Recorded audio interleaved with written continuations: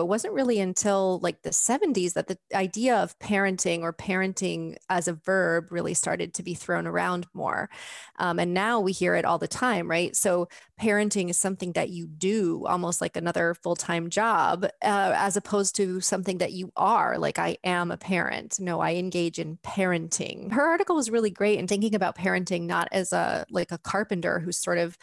you know i've got to get all the right pieces together and and build this child like sort of manufacture this product that i'm going to say this is a successful product like you know introducing my mm-hmm. child this product um, but to think about more as as being a gardener and cultivating um, you know uh, that child and giving the child space to grow and to become the person that they are or that they're you know supposed to be um, and that takes a lot of the pressure off the parent because you know it's not about like well i have to do the right the exact right things and i have to get all the right ingredients in place in order to create this you know this product. So it's just a different way of thinking about it that